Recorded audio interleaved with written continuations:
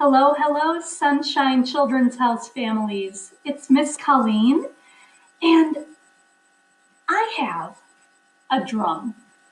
Now, this doesn't look like a drum that you're used to seeing. It's really just a Rubbermaid container that I'm going to use as a drum.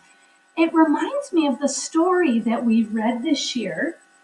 Do you remember this book that we read, Max Found Two Sticks?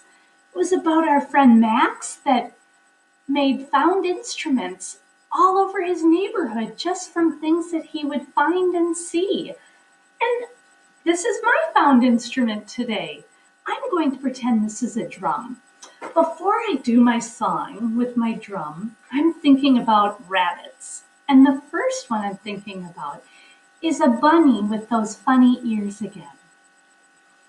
Here is a bunny with ears so funny.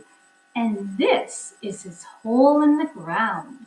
When a noise he hears, he pricks up his ears and he jumps in his hole in the ground. Let's do that one again. Here is a bunny with ears so funny, and this is his hole in the ground. When a noise he hears, he perks up his ears and he jumps in his hole in the ground. Well, now, friends, I've got my drum, and this next song is called John the Rabbit. And there's a part for us to do a little singing back and forth. I bet you'll be able to figure out how this one goes. Here we go.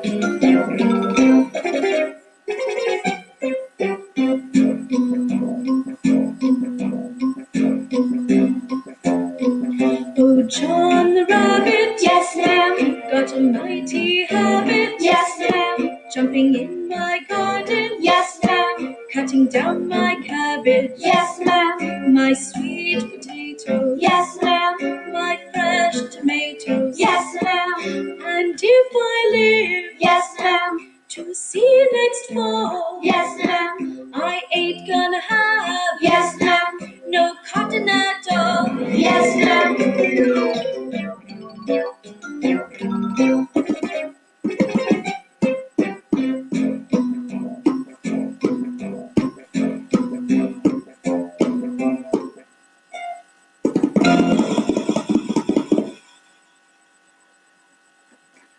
That's kind of a funny one, isn't it? Let's try it one more time. This time I'll sing the words and you can sing the yes ma'ams.